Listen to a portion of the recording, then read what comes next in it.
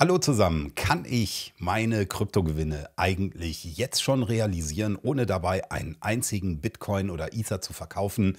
Und ja, das klingt total unlogisch und dennoch geht es und zwar indem ich ein Tool verwende wie zum Beispiel Ethos Reserve oder wie Liquidity und in diesem Video zeige ich dir, wie das geht.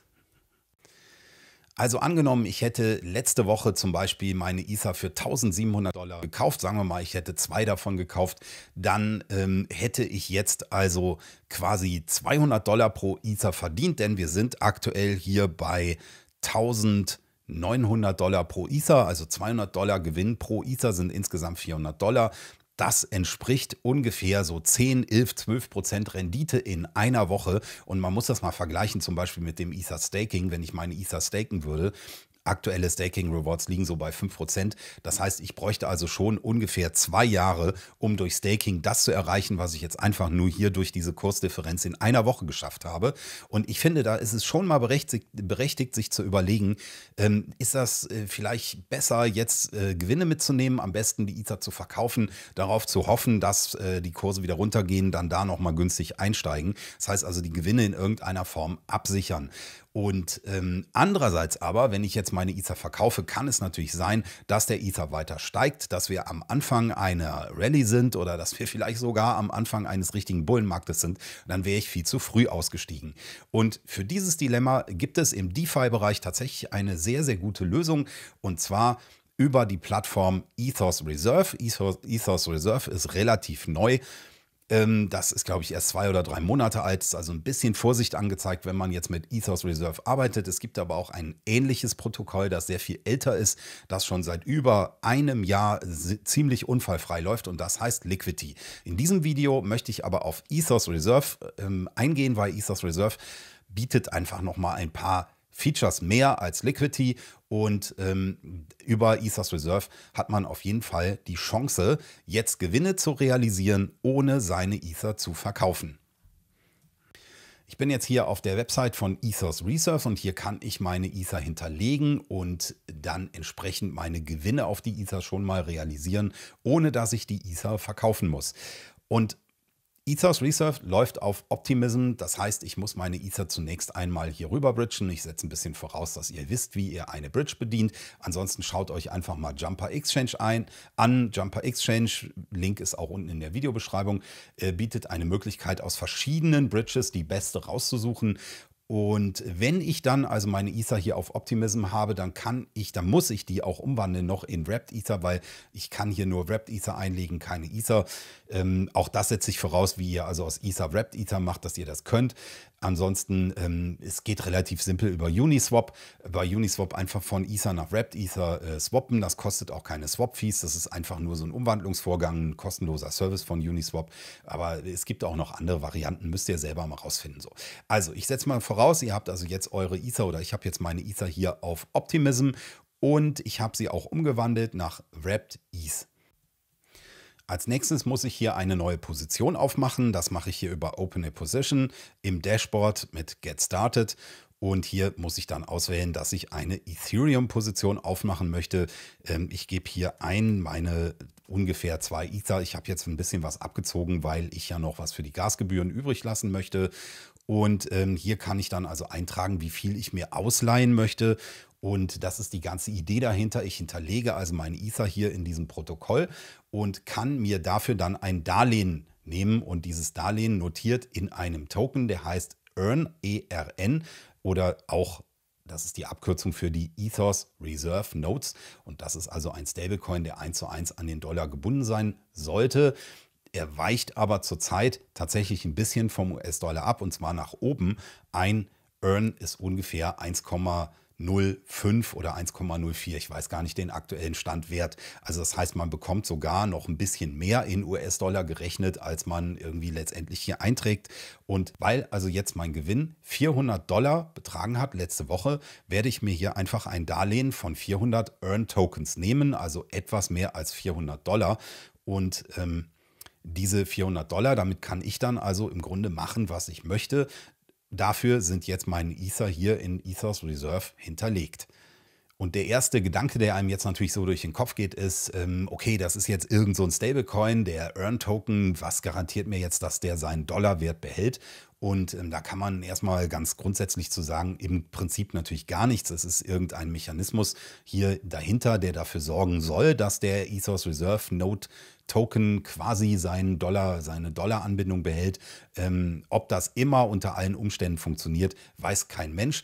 Zusätzlich ist es natürlich auch so, dass diese Plattform hier noch relativ jung ist. Also es ist tatsächlich sind gewisse Risiken ähm, darin enthalten. Also mein Rat ist natürlich wie immer, macht euch selber schlau, lest die Doku, ähm, hört nicht auf mich, probiert es aus mit kleineren Beträgen und so weiter. Also die üblichen Dinge, die im DeFi-Bereich eigentlich normal sein sollten, gelten hier auch. Ja, es gibt aber jetzt hier quasi eine Möglichkeit, sich davor zu schützen, dass man betroffen ist, wenn der Earn-Token seine Dollar-Anbindung verliert und nach unten geht, und zwar indem man diese Earn-Tokens sofort, wenn man das Darlehen genommen hat, umwandelt in einen anderen Stablecoin, der in gewisser Weise sicherer ist oder eventuell sogar dann, wenn man also zum Beispiel es umgewandelt hat in USDC, die USDC auf einen Exchange überträgt und die in Euro umwandelt, dann hat man natürlich seine 400 Euro ungefähr oder 380 oder was es jetzt im Moment wert ist, äh, quasi sicher. Ähm, es ist eigentlich egal, ob der Earn-Token im Wert verfällt. Es ist sogar gut für einen, weil wenn der Earn-Token seine Dollar-Anbindung verliert, euer Darlehen hier notiert in Earn Tokens. Das heißt also, wenn der Earn Token jetzt runtergeht auf 50 Cent, dann halbiert sich euer Darlehen. Ihr habt ja noch die 400 Euro auf eurem Konto, könnt dann also 200 Euro nehmen, dafür die, äh, zwei, äh, die 400 Earn Tokens kaufen. Ne? Der hat sich ja halbiert im Wert, also kann ich jetzt für 200 Euro 400 Earn Tokens kaufen, die hier zurückzahlen, dann meine Ether wiederholen. Das ist also auf jeden Fall kein echtes Risiko hier in diesem Sinne.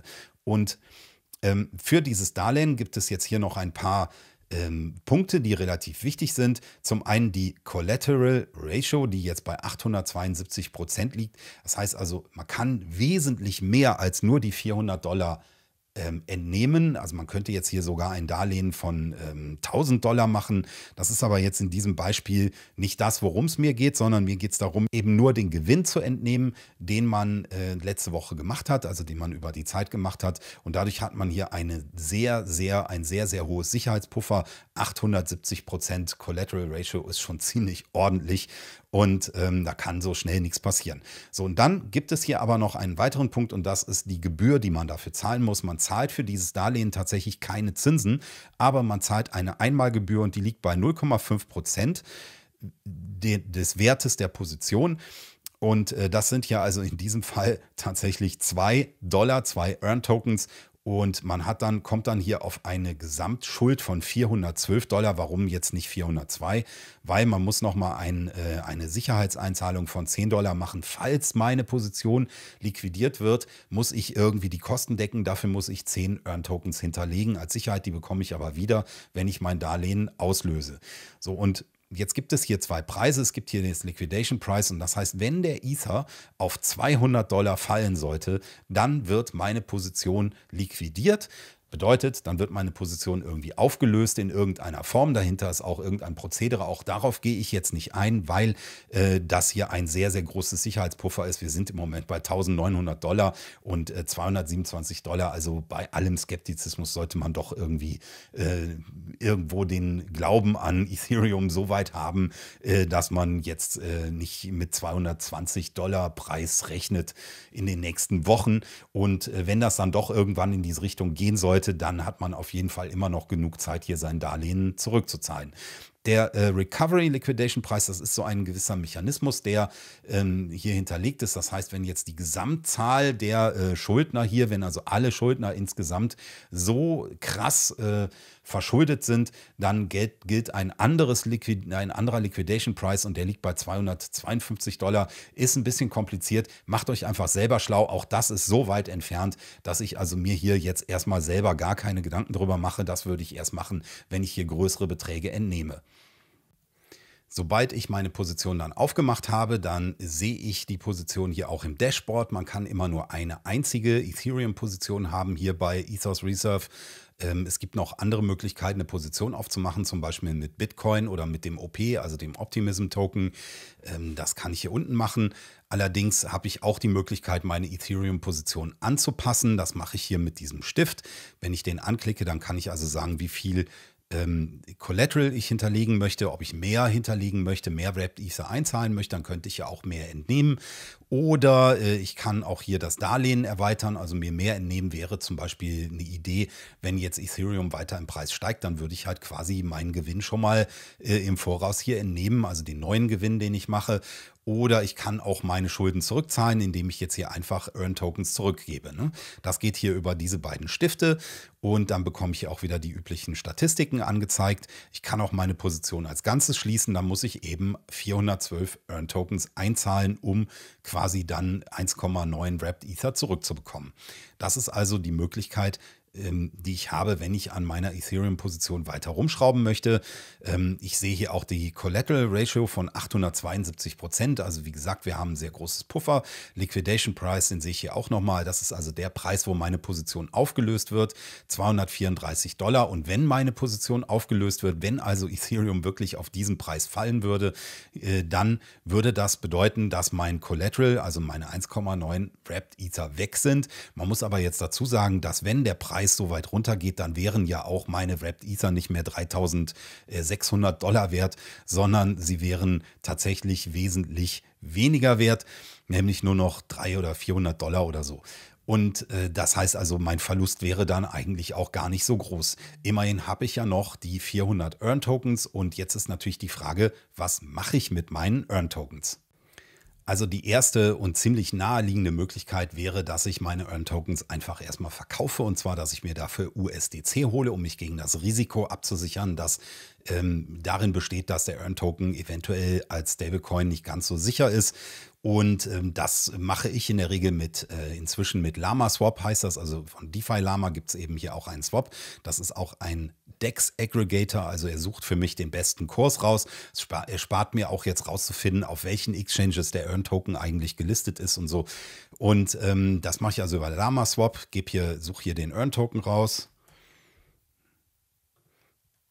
und kann dann eben in USDC swappen. Und von da aus kann ich natürlich dann alles Mögliche machen, wie zum Beispiel ähm, äh, das auf mein Konto über irgendeinen Off-Ramp oder so zu schicken und in Euro umzuwandeln und dann da von mir aus auch auszugeben oder festzuhalten, um dann später meine, äh, mein Darlehen zurückzuzahlen. Das ist also natürlich die erste und total naheliegende Möglichkeit. Eine zweite Variante besteht jetzt darin, dass ich die Earn Tokens nicht umwandle, sondern dass ich die einlege in den sogenannten Stability Pool.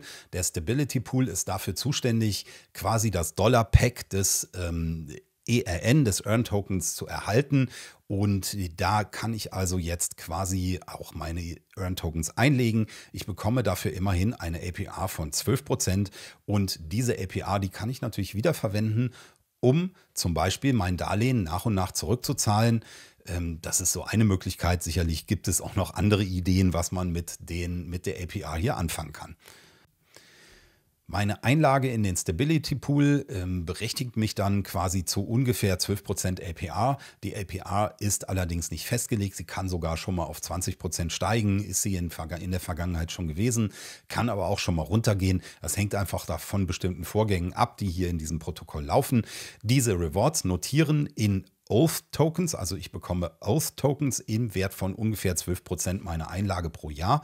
Ähm, die Oath-Tokens selber, ganz ehrlich, also ich kann mit denen jetzt im Moment nicht viel anfangen, zumal auch hier in diesem Beispiel der Betrag nicht allzu hoch ist, der dabei rauskommt. Es wären ja dann ungefähr 40 Dollar im Jahr, die ich hier bekomme und ähm, man könnte die hier dann weiter staken, über Stake äh, nochmal APR generieren. Ähm, dafür muss man allerdings noch ein bisschen kompliziert hier die Oath-Tokens nochmal in was anderes umwandeln. Ähm, wie das geht, müsst ihr euch mal selber schlau machen. Jedenfalls äh, für mich lohnt sich das Ganze nicht, weil ich spreche hier ja jetzt nicht von allzu hohen Beträgen. Und ähm, stattdessen dumpe ich die einfach, ich verkaufe die in USDC. Ähm, das mache ich auch über Lama Swap. Ich kann hier also Oath zum Beispiel in USDC wandeln, relativ simpel ähm, das Ganze. Ansonsten muss ich ja wieder von Hand einen Exchange suchen. Ethos Reserve ist ja als Protokoll noch relativ jung. Es ist gerade mal zwei oder drei Monate alt. Und wem das Ganze zu riskant ist, in ein so neues Protokoll zu investieren oder ein so neues Protokoll zu benutzen, der hat eventuell Lust, stattdessen Liquidity zu verwenden. Liquidity ist ziemlich genau dasselbe. Ähm, es läuft allerdings auf der Ethereum Blockchain. Der Vorteil von Liquidity ist ganz einfach, es ist ein Projekt oder ein Protokoll, das schon sehr, sehr lange existiert und sehr lange völlig unfallfrei funktioniert hat. Es ist eigentlich sehr, sehr ähm, viel sicherer als Ethos Reserve. Zurzeit auf jeden Fall, kann man so sagen, weil es wesentlich besser er, äh, erprobt ist. Und ähm, Liquidity hat allerdings auch ein paar Nachteile. Der eine Nachteil ist, Liquidity läuft auf der Ethereum Blockchain, also auf dem Ethereum Mainnet. Das heißt, die Gasgebühren sind sehr hoch. Bei bestimmten, ähm, also ab einem bestimmten Betrag fängt das wieder an, sich zu lohnen. Aber bei kleineren Beträgen wird man wahrscheinlich sehr viel mehr an Gasgebühren bezahlen, als man zum Beispiel an APR im Stability Pool bekommt. Insbesondere weil, und das ist ein weiterer Nachteil von Liquidity, der Stability Pool hier nur 2,5% APR abwirft, also nicht 12%. Und vermutlich wird äh, die Reise bei Ethos Reserve über die Monate auch in diese Richtung gehen. Denn äh, je mehr in diesen ähm, Stability Pool eingezahlt wird, desto mehr verwässern natürlich auch die Rewards über die Zeit.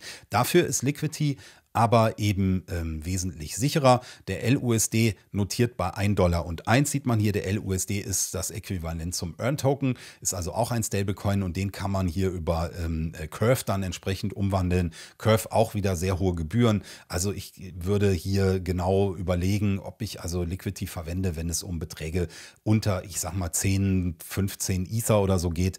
Ähm, wahrscheinlich auch da wird es sich nicht wirklich rechnen. Man muss schon noch größere Beträge nehmen. Aber ähm, das gibt vielleicht mal so ungefähr ein Gefühl dafür, mit was man so rechnen muss, wenn man also Liquidity stattdessen verwendet. Ansonsten kann man natürlich auch einfach bei Ethos Reserve mal einen kleinen Betrag reinlegen, das Ganze mal ausprobieren, mal gucken, wie es sich anfühlt und dann später, wenn äh, man ein sichereres Gefühl bei der ganzen Sache hat, dann eben das nach und nach auch steigern. So, und das war es jetzt auch schon mit meinem Video. Wenn ihr mehr von diesen DeFi-Tipps haben wollt, dann abonniert meinen Kanal. Ansonsten, wenn ihr Fragen habt zu Ethos Reserve, zu Liquidity oder anderen Themen, schreibt die in meine Kommentare unten rein. Ich beantworte in der Regel jeden einzelnen Kommentar. Und ansonsten freue ich mich auf das nächste Video. Bis dahin, alles Gute. Tschüss.